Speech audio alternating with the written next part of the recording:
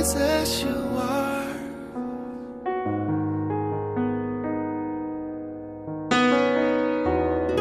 Uh, yeah, yeah. I'll stay upon your word. Jesus, you have the most lovely name I've ever heard.